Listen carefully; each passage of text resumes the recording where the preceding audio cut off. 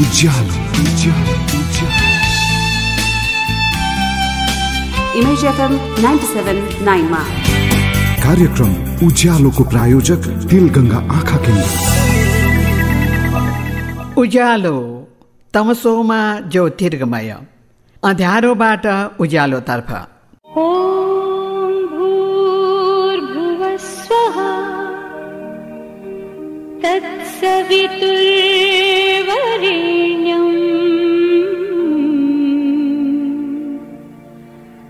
भर्गो देवस्य धीमहि।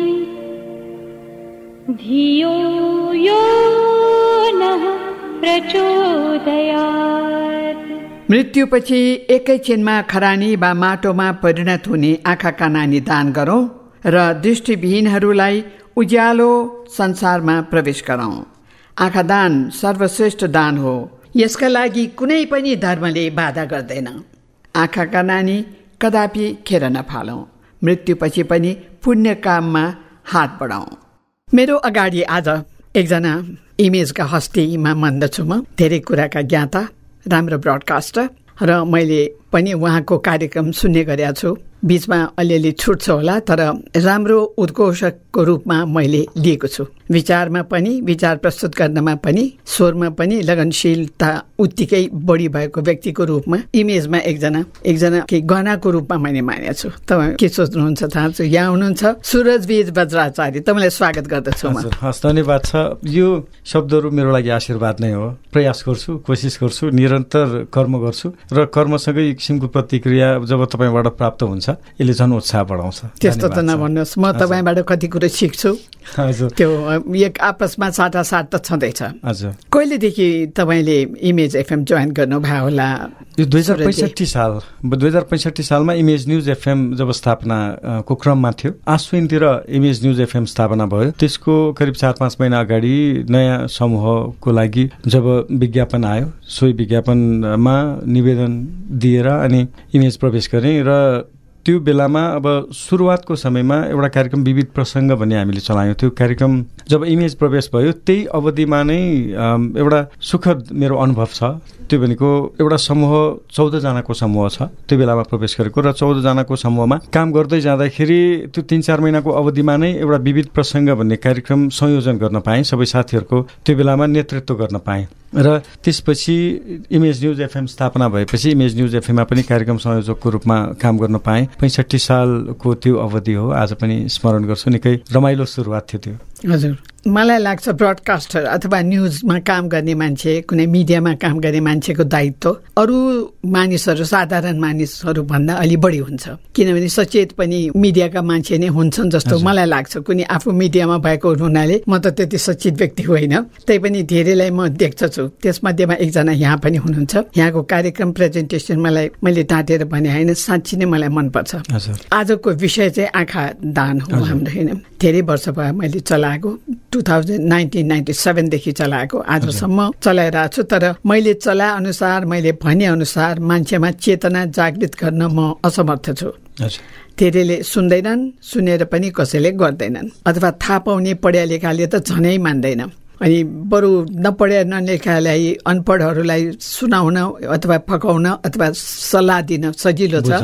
तर एजुकेटेड मान्छेहरूसँग त अलि डरै लाग्छ मलाई। उहाँहरू मान्नुहुन्न। नगराउनुहोस् भन्नु भनिदिन्छ अलि हप्काएर। त्यस्तो खालको धेरै अनुभव तितो अनुभव मसँग छ। हजुर। आँखादानलाई तपाईँ कसरी हेरिरहनु भएको छ त निकै सकारात्मक हो। समाजमा अब ज्योति प्रदान गर्न सक्नु कोही व्यक्तिको दृष्टि एकदमै कमजोर छ अथवा दृष्टिविहीन छ र दृष्टि दिनको लागि योगदान गर्न सक्नु भनेको त एकदमै ठुलो काम हो। र अहिले अब मलाई म स्मरण गर्दैछु तपाईँले कार्यक्रमको बारेमा उल्लेख गर्नुभयो त्यो बेलामा एउटा जीवनका रङहरू कार्यक्रम मैले निर्माण गरेँ। जीवन के हो? जीवनका रङहरू। र उक्त कार्यक्रममा शङ्खनारायण त्वाइना उहाँको बारेमा एउटा कार्यक्रम बनाएँ। त्यो पनि एकदमै यो विषयमा जानकारी गराउनु पर्दछ। असाध्य नै। त्यागी मान्छे हो है। अनि उहाँको व्यक्तित्वबाट पनि उहाँको कर्मबाट पनि र यो कर्मसँग जोडिएको सन्देश पनि। उक्त सन्देश पनि प्रभाव हुनुपर्छ भनेर त्यो बेलामा एउटा कार्यक्रम गरेको म अहिले पनि स्मरण गर्छु तपाईँसँग। यसरी यी रेडियोबाटै प्रसारण भएको इमेज न्युज एफएमबाटै। उहाँको जीवन- पनि लिनुभएको थियो? हजुर हजुर। हजुर। अनि त्यो कार्यक्रम मात्र इन्टरभ्यू होइन शङ्करनारायण त्वायना उहाँसँग कुरा गर्दाखेरि उहाँको बारेमा अन्य व्यक्तिहरूको पनि त्यसमा धारणा त्यसमा भावना रहने गरी त्यो कार्यक्रम निर्माण हुने हो। त्यसमा अनि मेरो आफ्नो स्क्रिप्ट हुन्छ र त्यसपछि उहाँको भोइस हुन्छ। उहाँको भोइस पनि छोटो छोटो सबै एडिट गरेर त्यो किसिमले म बनाउँछु र त्यसपछि उहाँको बारेमा अरू कसरी सोच्नुहुन्छ अरूको धारणा उहाँको बारेमा कस्तो छ ती कुराहरू पनि राखेर बनाउने कार्यक्रम त्यो पनि रुचाइएको कार्यक्रममा पर्छ। र त्यो कार्यक्रममा उहाँको बारेमा उल्लेख गरिरहँदाखेरि उद्देश्य उहाँसँग जोडिएको कर्म र तपाईँले जसरी यो प्रश्न गर्नुभयो त्यो विषयमा हामी कसरी प्रचार गर्न सक्छौँ? त्यो विषय हामी कसरी बुझाउन सक्छौँ? र त्यो विषयसँग जोडिएको उत्साहहरू के कस्तो छ? समाजमा कस्तो किसिमको अनुभवहरू छ? एकजना व्यक्तिको सङ्घर्षले कति परिवर्तन ल्याएको छ? यी सबै विषयहरू समेटेर त्यो बेलामा एउटा कार्यक्रम निर्माण गरेको म स्मरण गर्दछु र त्यो कार्यक्रमको उद्देश्य थियो? मेरो विचारमा दसैँ वर्ष अगाडिको हुनुपर्छ कार्यक्रम। जीवनका रङहरू त्यो बेला अहिले नाइन्टी सेभेन नाइनमा प्रसारणमा छ कार्यक्रम। त्यो बेला त्यो तपाईँ 3.6 मा- प्रस्तुता तपाईँ नै हुनुहुन्छ हजुर कार्यक्रम निर्माण गर्ने प्रस्तुति अनि त्यो कार्यक्रम निर्माणमा समय पनि एक हप्ता नै लाग्ने कार्यक्रम। कुराकानी गर्दाखेरि समय लाग्ने त्यसलाई अनि छोटो छोटो सम्पादन गर्दाखेरि पनि धेरै कुराहरू कसरी अटाउन सकिन्छ त्यो किसिमले सम्पादन गर्यो। फेरि उहाँको बारेमा अरू धारणाहरू उहाँको बारेमा अरू विचारहरू पनि खोज्नु हजुर। हजुर। अब नेपाल आँखा ब्याङ्कका म्यानेजर हुनुहुन्छ। हजुर। अनि उहाँको त्यो योगदान उहाँको त्यो बेलाको उहाँले बुझाउन खोज्दाखेरि तपाईँले जसरी भन्नुभयो बुझाउन गाह्रो छ। आजको अनुभव भयो। अब उहाँले त्यो सुरु गर्दाखेरिको अनुभवदेखि त्यो बेला उहाँले सुनाउनु भएको कुराहरू पनि म स्मरण गर्दछु। पहिलो आँखा झिक्नलाई उहाँहरू तिन रात कुर्नु भएको थियो। तिन रात। हजुर। अनि पशुपतिमा कोही व्यक्ति मृतक पर्खेर बस्दाखेरिको व्यवहारका कुराहरू उहाँले सुनाउनु। भएको ती कुराहरू सबै म स्मरण गर्छु र अब त्यो कुरा बुझाउनको लागि कति गाह्रो त्यो बेलामा अहिले अब बुझ्नेहरूको सङ्ख्या बढी पनि जस्तो लाग्छ तर जति परिमाणमा। बुझ्नुपर्ने हो जति परिमाणमा आँखाको सङ्ख्यामा आँखाको। नानी प्राप्त हुनुपर्ने हो त्यो चाहिँ भएको छैन स्वाभाविक रूपमा। अब त्यसमा अलिकति हाम्रो सांस्कृतिक परम्पराहरू त्यो संस्कारका कुराहरू संस्कारसँग जोडिएका कुराहरू पनि होलान्। त्यही कारण पनि- तर अलिकति फरक भइसकेको छ हाम्रो जीवनशैली। त्यही कारण बुझाउन अब फेरि पनि त्यति नै धेरै समय नलाग्ला कि जस्तो पनि लाग्छ। तर हजुर भएको छ। तैपनि यो कुराहरू बुझाउनको लागि अब एकजना व्यक्ति अहिले यसरी कुरा गरिरहँदाखेरि एकदम सकारात्मक हुने तर आफ्नै परिवारमा पर्दाखेरि फेरि सकारात्मक त्यो जुन सोच छ त्यो सोचमा दृढ रहन नसक्ने त्यस्तो खालको पनि अवस्था त्यो परिस्थितिहरू पनि होला। धेरै जस्तो के हुँदो रहेछ भने धेरै मान्छेले बिर्सन्छन् कि अब त्यो आपत परेको बेलामा दुःख परेको बेलामा आँखा दान आँखा झिक्न लाउँ भन्ने कुरो बिर्सिने पनि धेरै छन्। हजुर त्यसलाई सम्झाउने अथवा गर्ने घरको परिवारजनभन्दा बेग्लै साथीभाइको यो सहयोग चाहिने हुन्छ। उनीहरूलाई पनि साथीभाइलाई पनि सम्झाउनु पर्ने उहाँलाई पनि एजुकेट गर्नुपर्ने अवस्था छ जस्तो लाग्छ। किनभने परिवारजनमा त यो ध्यान आउँदैन त्यो। दुःखमा पीडितमा कहाँ पीडा भइरहेको बेलामा कहाँ मान्छेले सम्झिन्छ। त्यो पनि स्वाभाविक हो। त्यसले गर्दा पनि आँखाका नानीहरू धेरै खेर गएको छन् जस्तो मलाई लाग्छ। हजुर अनि अब त्यसमा फेरि अब केही समस्याहरू आँखा सम्बन्धी केही रोगहरू भएको नानीहरू पनि छुट्याउनु पर्ने पनि छ अवस्थाहरू भयो अहिले त सत्तरी। वर्ष पुगेको आँखाहरू काम लाग्दैन। हजुर त्यो कारण पनि भयो। अब त्यो सबै कुराहरू सबै त्यो प्राविधिक पक्षहरू पनि हामीले राम्रोसँग अझै पनि अब बुझाउने प्रयास त्यति धेरै भइराखेको छ। अझै पनि बढ्यो भने अब परिवर्तन असम्भव नै त छैन। छैन। बिस्तारै टाइम। लाग्ला हजुर। तर परिवर्तन त आउँछ हामीले हेर्दा हेर्दै कति कति नयाँ नयाँ कुराहरू। आए। धेरै कुराहरू हजुर जातपात। भने गयो। गएन धेरै लागि। त अझ धेरै मेहनतै गर्नु परेन कि जस्तो पनि लाग्छ। धेरैजनासँग सङ्गत भएपछि काठमाडौँ उपत्यकाभित्रको त्यो कुराहरू हराउनको लागि पनि समय लागेन। लागेन। अन्य धेरै व्यक्तिहरूसँग सङ्गत भयो विद्यालय शिक्षाको कुरा गरौँ अथवा अन्य शिक्षाको माध्यमबाट जसरी हामीले सूचनाहरू प्राप्त गऱ्यौँ ज्ञान प्राप्त गऱ्यौँ धेरै कुराहरू स्वतः परिवर्तन भयो कि जस्तो पनि लाग्छ। अब यो कुरामा पनि त्यही किसिमको परिवर्तनको आशा गरौँ। अब कर्म गर्न मेहनत गर्न छोड्नु भएन जो व्यक्तिहरू सक्रिय हुनुहुन्छ। परिवर्तन निश्चित छ। तर मिडियाका मान्छेहरूको दायित्व अलि बढी छ जस्तो लाग्छ। हजुर। अब तपाईँले कति गर्नुभएको छ त्यो मलाई थाहा छैन। तर मिडियाको मानिसको सोच चाहिँ अरूको भन्दा अलि भिन्दै हुनु पर्यो। चाहे जुनसुकै मिडियाको हुनुहोस् न तपाईँ होइन? तर आँखा दान गर भन्नलाई त कुनै सर्टिफिकेट चाहिने होइन। होइन? कुनै योग्यता पनि चाहिने होइन। त्यो त आफ्नो सोचमा हुनु पर्यो। त्यो चाहिँ मिडिया पर्सनमा कमी जस्तो मलाई लाग्यो। तपाईँले कसो सोच्नु भएको छ थाहा छैन। कुनै पनि मिडियाको मान्छेले गएर आँखा दान गर्नुहोस् भनेको मैले अहिलेसम्म सुनेको छैन ल। साँच्ची साँच्ची नै सुनेको छैन। मैले चाहिँ त्यही जीवनका रङहरू कार्यक्रमबाट त्यो मैले सुन्न पाइनँ त्यो त्यो कार्यक्रम मलाई मार्फत अझै। छ तपाईँसँग? छ। अनि तपाईँसँग कुरा पनि भएको थियो उक्त कार्यक्रम निर्माणकै क्रममा। सामान्य उहाँको बारेमा बुझ्ने कामहरू पनि भएको थियो। उहाँको अन्तर्वार्ता लिनु अघि अध्ययनकै क्रममा। त्यो। हजुर हजुर त्यो अनि एकचोटि भेट पनि भयो उहाँसँग किनभने। मेरो सामान्यतया रेडियोमा काम गर्दाखेरि भेटघाट कम हुन्छ सकेसम्म टेलिफोन मार्फत पनि धेरै सूचनाहरू प्राप्त हुन्छ सजिलो भएको कारण आफ्नो यहाँको कर्म सँगै अलिकति थप कुराको लागि कहीँ आउन जान भन्दा पनि समय बच्छ भनेर धेरै कार्यक्रमहरू मेरो अनलाइन। मार्फत नै भएको छ हजुर उहाँसँग पनि फोन मार्फत नै कार्यक्रम भयो। अनि फोन मार्फत कुराकानी फेरि पनि हुँदाखेरि उहाँ सम्झिनुहुन्छ सुरजी भन्नुहुन्छ तर भेटघाट थिएन। एउटा कार्यक्रमकै क्रममा उहाँसँग भेट पनि भयो। अनि म सुरज सुरजवीर म इमेजमा भनी उहाँले सम्झिनु भयो। अनि अरू थप कुराहरू अरू अपडेटहरू के छ भनेर पनि उहाँले सुनाउनु भयो। त्यो भेट पनि सायद मेरो विचारमा छ सात वर्ष पछाडिको मात्रै भेट हो।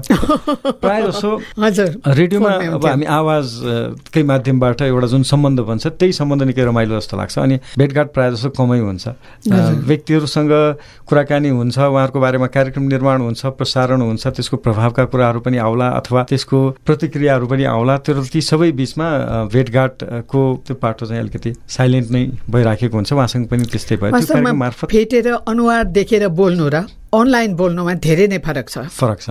त्यसको एक्सप्रेसनै अर्को आउँछ है। एउटा अपनत्व भन्ने पनि नहुने के त्यो मान्छेसँग? चिन्या छैन बोल्या छैन कहिले कुरा गरे होइन एकदम माइकमा गएर दुईजना बोल्नु उहाँको अलिकता परिचय बाँधेर त्यो पनि त्यतिको राम्रो प्रोग्राम प्रडक्सन त्यसबाट हुँदैन जस्तो मलाई लाग्छ। मेरो अलिकति फरक अनुभव म कुराकानी गर्दाखेरि करिब मेरो दस पन्ध्र मिनट जतिको कुराकानी अरू सामान्य कुराकानीमै बित्छ। उहाँको बारेमा अध्ययन।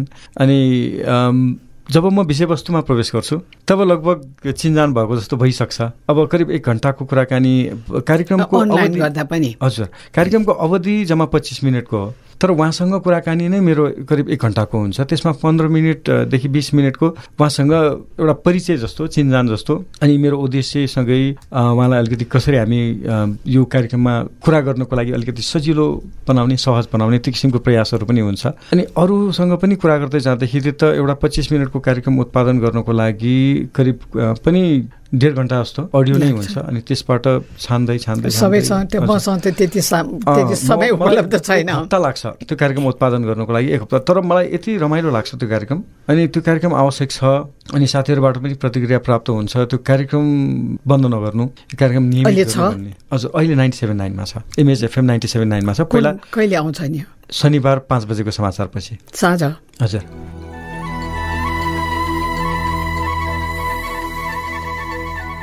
यहाँ हुनुहुन्छ श्री शङ्कर नारायण च्वाना नेपाल आई ब्याङ्कका म्यानेजर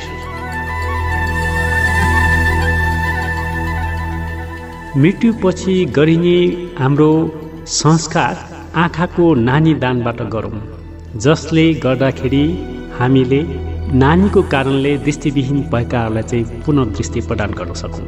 सुरजी अब रेडियोको कार्यक्रम चलाउनु पनि एक किसिमको उपवास राख्नु जस्तो छ। धार्मिक दृष्टिले हेऱ्यो भने। त्यो होइन व्रत बस्नु जस्तै। ध्यान सबै त्यसैमा गइरहेको हुन्छ। अरू कसै कुनैमा पनि जाँदैन। हुँदा हुँदा बिरामी हुँदा पनि ओ रेडियो कार्यक्रम चलाउनु पाए त म निको हुन्छु जस्तो लाग्छ। वास्तवमा तपाईँलाई हुन्छ? सही सही कुरा। जबसम्म यो हाम्रो काम भनेको आवाजकै माध्यमबाट आवाजको। माध्यमबाट। आवाज स्वस्थ छ। शरीर बिराम भएको जस्तो अनुभव हुँदैन। मजा आउँछ। रमाइलो लाग्छ। अब अलिअलि गायनमा रुचि पनि भएको त्यसमा तपाईँ गीत पनि गाउनुहुन्छ अरे अलिअलि। त्यसमा छु। लेखन पनि गर्नुहुन्छ हजुर हजुर। गीत लेख्छु गाउँछु। कुन भाषामा? नेपाल भाषा नेपाली दुईवटैमा। आँखा बारेमा कहिले लेख्नु भएको छ? आँखा बारेमा छैन। एउटा गीत लेख्नुहोस् न। हुन्छ। म त्यो प्रयास गर्छु। किनभने अध्ययन त्यही बेलामा पनि अब त्यो कार्यक्रमको बारेमा अन्य गीतहरू पनि जसरी आँखा दानको बारेमा हामीलाई। यस्तो संस्थाको आवश्यकता छ नेपाल आँखादान समाज भन्ने एउटा छ। तिरगङ्गा अन्तर्गत तर त्यसमा विविध आफ्नो प्रतिभाका धनीहरू हामी राख्न चाहन्छौँ। त्यसमध्ये तपाईँमा पनि मेरो विशेष श्रद्धा माया छ। त्यसैले म तपाईँलाई अनुरोध गर्दछु आँखादान समाजमा आबद्ध हुनुहोस्। तपाईँको तपाईँबाट हामीले धेरै कुरो सिक्न पाउँछौँ। र आँखादान समाज धेरै लाभान्वित हुनेछ जस्तो लाग्छ। हजुर। हजुर। एउटा गीत मैले त्यही प्रकृति प्रेमी समूहसँग को सामिप्यता छ। हाम्रो दैनिकी हाम्रो जीवनयापन हाम्रो खानपान हामी कसरी गर्छौँ भन्ने कुराहरू केन्द्रित। तपाईँ गायक नै हो। हजुर म एउटा सुनाउन एक टुक्रा। त्यही त्यो स्वास्थ्य सम्बन्धी छ त्यही म। सुनाउँछु। त्यो लयात्मक रूपमा एउटा नक्कलीलाई भगाइलग्यो छिल्किएले भन्ने गीतको लयमा छ किनभने त्यो लय लगभग दिमागमा बसिसकेपछि शब्दहरू मात्रै प्रवेश गराउनको लागि गाह्रो हुन्न भनेर अनि सजिलो पनि हुने भयो।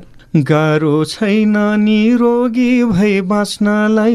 आइया आथा नभनी बाँचुन्जेल हाँस्नलाई निरोग धाम पुगौँ है ऊ आबिबी विधि सिकौँ है। बिहान उठ्ने बित्तिकै एक लिटर पानी पिउँ है। खाने बेलामा छोकरा बोकरा भएकै खाना खाउँ है। एक घन्टाको फरक पारौँ खाना पानी बिचमा लोभ नगरौँ साथी हामी अप्राकृतिक चिजमा चप्पाई चप्पाई खाउँ है सधैँ रमाई उचित आहारले नै गर्छ सबको सधैँ भलाई। निरोग धाम पुगौँ है ऊ आबिबी विधि सिकौँ है। ऊ आबिबी भनेको उचित आहार विहार अनि विचारको विधि हामीले अप्नाउनु पर्छ जीवनयापनको लागि भन्ने हो। अनि त्यसको लागि अहिले अहिलेको अन्तरामा उचित आहारको बारेमा त्यसरी नै उचित विहार हाम्रो जीवनयापन हाम्रो योग अथवा हाम्रो व्यायाम कस्तो हुनुपर्छ भन्ने अनि त्यसरी नै हाम्रो विचार कस्तो हुनुपर्छ। हामी स्वस्थ रहनुको लागि हाम्रो विचार पनि स्वस्थ हुनुपर्छ। विचार पनि हामीले राम्रो गर्नुपर्छ। सबैको उद्धार गर्ने सबैलाई सहयोग गर्ने कसैसँग झगडा नहोस् कसैसँग ठुलो स्वरले बोल्न नपरोस् त्यो किसिमले हाम्रो आफ्नो व्यक्तित्व विचार बनाउनुपर्छ र त्यसपछि हामी स्वस्थ हुन्छौँ भन्ने ती शब्दहरू ती भावनाहरू अनि त्यो अनुभव समेटेर एउटा गीत लेखेँ। अब यो गीत अनि हाम्रो अभियानको त्यो भावना लगभग उस्तै नै हुन्छ यो पनि अब स्वास्थ्य कसरी रहने भन्ने कुनै संस्था। बनाउनु भएको छ यो संस्थामा सदस्य छु तर म पनि तिन वर्ष चार वर्ष अगाडि आफू प्रवेश गरेको हुँ। त्यो बेलामा मेरो तौल पचहत्तर किलो जति थियो अहिले अन्ठाउन्न छ। अनि मलाई थाहा थिएन ढाड दुख्ने अलिअलि समस्या थियो। अब यो कारणले गर्दा मेरो तौल म घट घटाउन सक्दिनँ। अब नबढोस् भन्ने मात्रै मेरो चाहना हो अथवा त्यही किसिमले मात्रै म मेहनत गर्छु भन्ने थियो त्यो बेलाको निष्कर्ष। तर त्यहाँ गएर त्यहाँको जीवनयापनको शैली उहाँहरूले जसरी ज्ञान प्रकृति प्रेमी समूह। अहिले पनि छ। छ सातो बाटोमा छ। त्यहाँ गएर जीवनशैली परिवर्तन हुनासाथ पहिलो महिना पाँच किलो दोस्रो महिना पाँच किलो दस किलो घट्यो।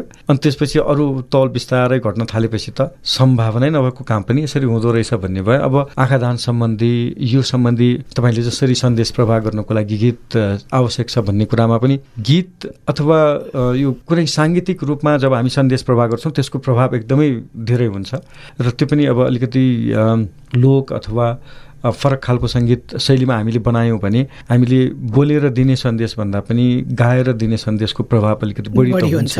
त्यही किसिमले म प्रयास गर्छु। यहाँको कुरालाई म मनमा राख्छु। फेरि अब गाएँ भने। धेरैचोटि गाई छ। बोली भने एकचोटि बोल्यो त्यो सुन्नेले सुन्यो एउटा कानले सुन्छ आँखा बन्द होइन? अब कति नै रहन्छ र त्यो फेरि गइहाल्छ। त्यतातिर नभइकन तपाईँ लेख्ने गर्नुहोस् भनेको। कतिसम्म बाँच्छ? गीतको जीवन कति हुन्छ भन्ने कुनै भएन। निश्चित नै भएन, एकदमै निश्चित अनिश्चित। जीवन हुन्छ।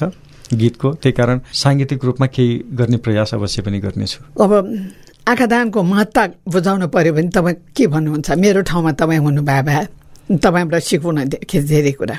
अब आफ्नो जीवनकालमा मैले नै हेर्नुपर्ने समय छ र म किन दिउँ भन्ने पनि होइन। आफ्नो जीवन अहिले मान्छेले मर्नुभन्दा पहिले त्यही सोच्छन्। अँ एउटा पहिलो घटना पहिलो आँखा दानको लागि घरबाट फोन आयो भनेर शङ्करनारायण त्वानाजीको उसमा पनि तुलाधर थरको परिवारबाट। उहाँको बारेमा उल्लेख छ अनि त्यो उल्लेखमा पनि उहाँको अन्तिम अवस्था छ आँखा सङ्कलनको लागि हजुर। तर अब कस्तो भावुक बनाउने खालको छ अब त्यो बेला त्यो घटनाले दिएको उत्साह आज पनि उल्लेख त भइहाल्छ। त्यसरी अब जीवन छँदाखेरि नै दिनुपर्ने पनि होइन। जीवन। सकिएपछि दिने हो। जीवन सकिएपछि त के छ के छैन। अब जीवन सकिएपछि पनि उद्धार हुन्छ। एकजना व्यक्ति जो यो संसार देख्न सक्दैन ए हेर्न सक्दैन कस्तो छ जसलाई थाहा छैन अथवा कुनै कारणवश त्यो अवस्थामा पुगेको होस् ती व्यक्तिलाई हामी यो संसार देखाउन सक्छौँ फेरि पनि। कुन स्तरको काम भन्ने होइन त्यो त त्यस्तो स्तर निर्धारणै गर्न नसकिने काम हो। ती व्यक्तिले सधैँ जब आफ्नो दृष्टि अथवा आफ्नो दृष्टिकोण आफ्नो यो संसार हेर्ने काम जब हुन्छ सधैँ नै जसले आँखा दान गर्यो अब त्यो त्यसरी अभिलेखमा उल्लेख नभए पनि ती व्यक्तिप्रति त सधैँ नै स्मरण गर्ने भयो सधैँ नै धन्यवाद ज्ञापन गर्ने भयो सधैँ नै त्यो श्रद्धा रहने भयो। अब एकजना व्यक्तिको लागि त्यति गर्न सक्नु भनेको पैसाले पनि गर्न सकिँदैन केही कुनै कारण कुनै कामले पनि गर्न सकिँदैन। त्यही कारण यो त एकदमै अजीब काम हो। हजुर यसमा कोही पनि पछाडि। एकदमै अगाडि बढ्नुपर्छ। तर एजुकेटेड मान्छेहरू अझै पछाडि छन्। बरु अनएजुकेटेडले बुझ्छ यो नपढे नलेखा गाउँघरका मान्छेले पनि बुझ्छन्। अथवा बच्चाहरूले बुझाउँछ कहिले बुझ्छ आँखा काम नलाग्ने दिउन भने एजुकेटेडले त नगरौँ मेरो श्रीमतीको आँखा म बिगार्न चाहन्न भन्ने पनि धेरै देखेँ मेरो छोराको आँखा म बिगार्न चाहन्न पछिको जिन- जिन्दगीमा के होला अब पछिको जिन्दगी छ छैन तर धर्म गरेर कुफलो त कहिले पनि हुँदैन होइन र। अब पुनर्जन्म अब धार्मिक विश्वासको कुराहरू होला कुनै धर्मले मान्छ कुनै धर्मले मान्दैन तर। मान्छेको जीवन निकै महत्त्वपूर्ण छ र यो जीवन एकदमै यो म बाँचेँ भनेर त्यो जीवनसँग जोडिएको निकै सकारात्मक अनुभवहरू सकारात्मक योगदानहरू समाजको लागि गर्नुपर्छ भन्ने नै हो नत्र अरबौँ मान्छेहरूको बिचमा कति मान्छेहरू स्मरणमा रहन्छ। स्मरणमै रहँदैन। स्मरणमा रहने व्यक्ति बन्ने हो भने त यो एकदमै राम्रो कर्ममा पर्छ।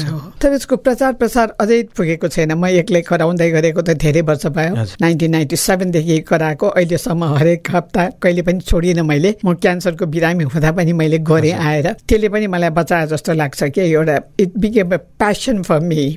त्यो भएर पनि। यो पनि एउटा नसा जस्तो नलागिकन तपाईँ पनि यस्तो काममा लाग्न सक्नुहुन्न। रक्त सञ्चार जस्तै भयो। रक्त सञ्चार जस्तै। त्यसैले यस्ता एउटा मान्छेमा हेबिट होस् कि त्यो चाहिँ आफ्नो लागु पदार्थ जस्तै त्यसले पनि हामीलाई असर छोडोस्। र त्यसलाई छोड्न नसक्ने त्यस्तो पनि हुँदो रहेछ के अब। ब्रडकास्टिङ पनि एउटा त्यस्तो हो मैले पहिले पहिले जागिर खाँदा मेरो तलब एक सय पचहत्तर रुपियाँ थियो अनि त्यो रेडियो नेपालमा वान्टेड आयो त्यहाँ एक सय पच्चिस रुपियाँ थियो अब मैले एक सय पचास रुपियाँ महिनाको पचास रुपियाँ कम होइन एक सय पचहत्तर रुपियाँको एक सय पच्चिस रुपियाँ हुँदा पचास रुपियाँ त घटी भयो त्यही पनि मैले घरमा कसैले नभनिकन रेडियोमा एप्लाई गरेँ एक सय पच्चिसमा। चुनिएँ म अब महिनाको पचास रुपियाँ घट्नु भने त्यो बेला दुई हजार अठार सालमा त्यसको मोल तपाईँ भन्नुहोस् न कति थियो होला? एक बोरा चामलको हजुर। तोलाको यति थियो भन्ने त्यस्तोमा पनि अब आफ्नो मलाई मलाई मनपर्ने सबभन्दा मनपर्ने चाहिँ रेडियोमा ब्रडकास्टर हुने। त्यसैले त्यसमा गएर पनि आजसम्म खै अब अलिअलि काम गर्न पनि सकेका छु। रेडियो नेपालमा पनि नाम जसरी रेडियोको सन्दर्भ जोड्ने पनि आज पनि धेरै व्यक्तिको आदर्श हुनुहुन्छ। यहाँले गर्नुभएको त्यो योगदान त्यो त त्यो त- त्यो त पुग्ने जति त गरेको छैन। आफूलाई सन्तुष्टि मिल्ने खालको चाहिँ काम मैले गरेको छैन। होइन तपाईँले भन्ने त त्यही नै भयो तर हामीले बुझ्ने फरक छ। हजुर। त्यो योगदान छ त्यो योगदान अवश्य पनि। अब आज सञ्चार माध्यम यो छ यस्तो अवस्थामा छ भन्ने हो भने त आधार त त्यही हो नि। हिजो जुन तपाईँले तयार गर्नुभयो तपाईँ जस्तै तपाईँको पुस्ताले तयार गर्नुभयो आधार त जस्तो। हजुर आधार त त्यही हो। आज हामी एकदमै सजिलो युगमा छौँ भनिरहँदाखेरि पनि यदि हिजो त्यति सङ्घर्ष नभएको भए आज पनि त्यो किसिमको उपलब्धि त्यो किसिमको विकास पनि हुँदैन थियो होला। के भन्नु कति कुरा गर्नु तपाईँसँग जति गरे गरे नि नपुग्ने छ अपुग लाग्छ। मैले सिक्नुपर्ने पनि धेरै छ तपाईँसँग। मलाई गौरव लाग्छ तपाईँप्रति। साँच्चै साँच्चै तपाईँको प्रस्तुतिलाई म मन पराउँछु हजुर तपाईँलाई फुर्काउने र मलाई के मिल्ने त होइन के होइन यसमा कुनै मेरो स्वार्थ पनि मलाई छैन पनि त्यस्तै लाग्छ। म पनि त्यस्तो खासै त होइन तर कोसिस गर्छु मेहनत गर्छु आफ्नो कर्म। मेहनत नगरी त कुनै पनि। फल प्राप्त हुँदैन। सबभन्दा। बुझाउनु पनि आफैलाई जस्तो लाग्छ। श्रोता के भने कुनै पनि मान्छेले तपाईँलाई करेक्ट गर्यो। तपाईँले म बोलेको यो मिलेन अथवा के भन्यो भने त्यसलाई गुरु मान्नुपर्छ। एकदम सही। त्यो जसले मान्दैन उसले सिक्दैन। भन्ने मान्छेहरू नै हुँदैन। जसले एकदमै राम्रोसँग। भनिदिनुहुन्छ उहाँ त एकदमै राम्रो। तर अब सामान्य मान्छेहरूलाई प्रतिक्रिया हुन्छ। अनि त्यो प्रतिक्रिया पछाडि पछाडि व्यक्त हुन्छ। यसरी अगाडि कुरा हुँदाखेरि त अगाडि बढ्नुको लागि आवश्यक नै यही त हो। हामीलाई सुधार्ने व्यक्ति भइदियो भने त्योभन्दा राम्रो के चाहियो अब म न्युज पढेर कति वर्ष भइसक्यो होला। होइन न्युज पढेर मलाई लाग्छ बिस वर्षपछि म बिबिसी गएँ होला। हजुर। बिबिसीमा ट्रेनिङको लागि। त्यहाँ जाँदाखेरि फ र फको बिचमा डिफरेन्स मलाई थाहा थिएन। हजुर। अब तपाईँलाई पनि थाहा नहुन सक्छ किनभने मैले धेरैमा देखेँ सुने अहिले। अनि त्यसले गर्दा मलाई तिन दिनसम्म स्टुडियोमा पस्न दिएन। त्यो त एकजना जर्मन हुनुहुन्थ्यो उहाँ हिन्दीमा पोख्त संस्कृतमा फ्लुएन्ट बोल्ने संस्कृतमा पिएचडी गरेको। हजुर। त्यहाँदेखि फ भन्ने कुरो मेरो जिब्रोमा कहिले पनि आएन। नेपाली भाषा हिन्दी भाषामा फ भन्ने छैन। फ नै हो। फुटबल इङ्ग्लिस वर्डमा फुटबल छ है, त्यस्तो छ फुट छ त्यस्तो तर नेपालीमा छैन हिन्दीमा पनि छैन। त्यो कुरो जहिले पनि तिन दिनसम्म स्टुडियो पस्न नदिएको फ भन् फ भनेर फलाई फ भन्यो भने त्यतिसम्म पनि करेक्ट गर्ने मान्छेहरू छन्। एकजना हरिहर भट्टराई भन्ने एकजना मान्छे थियो रेडियोमा अब उहाँ छोडेर गइसक्नु भयो पछि एक दिन आउनुभयो। अनि दिदी तपाईँलाई एउटा सुझाव दिउँ भनेर भने भन्नुहोस् न भने भने तपाईँले प्रस्तुत गर्नु भन्यो। प्रस्तुत त दीर्घ होइन दिदी किन प्रस्तुत भन्नुभयो तपाईँले भने भन्यो। हो र मलाई त थाहा थिएन भने प्रस्तुत त रसो हो त्यो भने। त्यो मान्छे प्रस्तुत शब्द अहिलेसम्म आयो भने हरिहर भट्टराईको अनुहार मेरो अगाडि आउँछ प्रस्तुत नभइकन प्रस्तुत हुन जान्छ त्यो एउटा लर्निङ एटिच्युड चाहिँ मान्छेमा हुनुपर्छ के। होइन ब्रडकास्टर तपाईँ र म पनि हुँ तपाईँभन्दा म अलि पुरानो होला।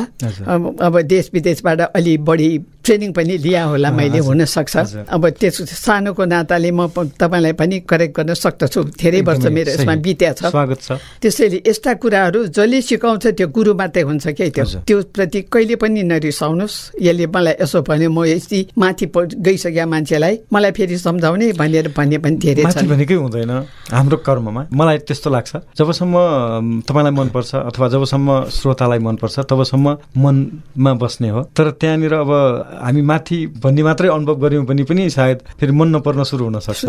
किनभने कलाकारहरू अथवा हामी माथि भन्ने नै हुँदैन कि जस्तो मलाई लाग्छ? News news reader. भएर पनि धेरै मान्छेले खराब बोल्छन्। उहाँले अब हुन त ब्राह्मणहरूलाई भने होइन नेपाली स्पिकिङले पनि गर्व प्रकट गर्नुभयो भन्नुभयो। मैले गर्व प्रकट त भन्नु भएन गर्व भनेको त अर्कै गर्वलाई गर्व भन्न त मिलेन। त्यस्तो खालको नि एउटा घमण्ड मान्छेमा हुनु हुँदैन। त्यसपछि उहाँको नामै गर्व प्रसाद भयो त्यसरी नि। मतलब मान्छेको सुन्नु चाहिँ पर्छ जस्तो लाग्छ मलाई सिक्ने। मान्छेले। ब्रडकास्टरले खास गरी। के मिलेन भन्नुहोस् एउटा गुरु जस्तो स्थापना गर्नुपर्छ। यो मिलेन अथवा जान्ने मान्छेलाई कसरी सोधौँ लाज मान्नु हुँदैन। त्यो चाहिँ सिकाइ हो नि त्यो। त्यसैबाट मान्छे बन्छ नसिकिकन त कोही कहीँ पनि पुगेको हुँदैन जस्तो। लाग्छ।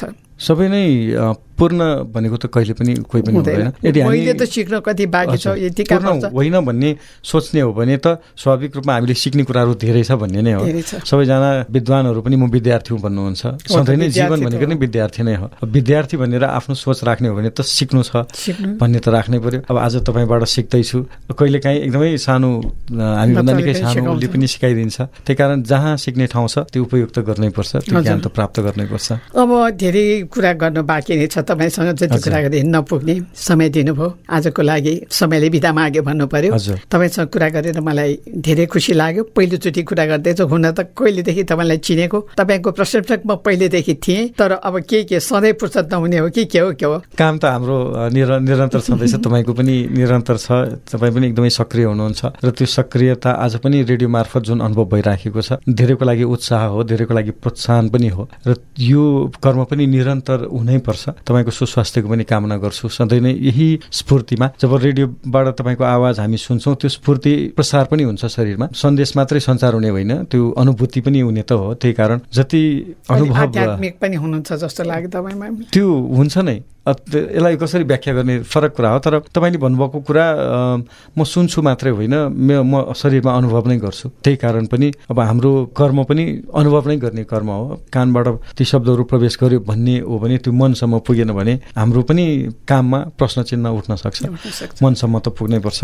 र यो कर्म जुन छ यो निरन्तर। निरन्तर होस्। अनि एउटा गीतको तपाईँले उल्लेख गर्नुभएको छ त्यो गीत बनाउने म प्रयास गर्छु। हस्। हस् धन्यवाद। मलाई समय दिनुभयो। त्यसको लागि यहाँलाई कसरी धन्यवाद दिउँ म? मेरो एउटा इच्छा पुरा भए जस्तो लाग्यो। तपाईँको कार्यक्रम सुन्दा यो मान्छेलाई मैले के छोडेँ जस्तो पछुतो मलाई जहिले पनि लागिरह्यो। जिउ चाहिँ आज परिपूर्ति भएको छ। त्यसको लागि हृदयदेखि धन्यवाद। अब धन्यवादमा आशीर्वाद जोडिदिनु होला यति भए पनि पुग्छ मलाई। उमेरले। हजुर। होइन कर्मले उमेरले हरेक होइन। कर्मले त तपाईँ माथि हुनुहुन्छ जस्तो लाग्छ मलाई। हजुर। हस्, धन्यवाद छ यहाँलाई निकै खुसी लाग्यो मलाई पनि आज यसरी कुरा तपाईँले भन्नुभयो जस्तै नै हो हामी भेट्यौँ पनि एउटै संसार संस्थामा यसरी वर्षौँ। बसेर पनि। हामीसँग हामीले मैले कहिल्यै कुराकानी गर्ने। अवसर पाइनँ त्यसले। पनि हतार यहाँ कहिलेकाहीँ मात्रै देख्थेँ म आजको दिन स्मरणीय रहनेछ हजुर अनि यसले सधैँ नै। उत्साह दिनेछ हस् हस् धन्यवाद धेरै धन्यवाद। श्री सूरजवीर वज्राचार्य इमेज एफएमका प्रसिद्ध व्यक्ति मध्ये हुनुहुन्छ जस्तो लाग्छ। म उहाँको आफै पनि प्रशंसक हुँ। उहाँले आज मलाई समय दिनुभएकोमा मैले आफूलाई धन्य सम्झेँ। फेरि फेरि पनि उहाँसँग मेरो भेट हुनेछ र उहाँसँग कुराकानी तपाईँ समक्ष पुर्याउने मेरो प्रयास सधैँ रहनेछ। आजको लागि उहाँसँग विदा माग्दै कृष्ण ताम्राकार आज्ञा चाहन्छु। नमस्कार।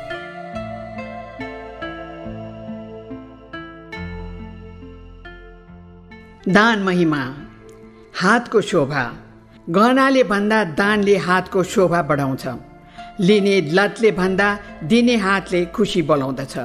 दिँदा हातबाट छुट्छ तर त्यो अक्षय भएर रहन्छ। अक्षयन्ते भविष्यति। दिने मन भएको मानिसको शरीर नै ईश्वरको मन्दिर हो। महाकवि देवकोटा भन्थे सबै भन्छन् सुख सुख त्यो कहाँ छ? आफूलाई मेटाई दिनु अरूलाई जहाँ छ। उज्यालो अभियान। परिवारको छुट्टै कुलिन चिनारी हुन्छ। विद्यादानको बिडो हुन्छ। हिङ बाँधेको टालो हुन्छ। तर आँखाको नानी दान गर्ने पारिवारिक परम्परा महान हुन्छ। मृत्युपछि खरानी भएर जाने आँखाको नानी दान गर्दा दाताको आँखा बाँचिरहन्छ।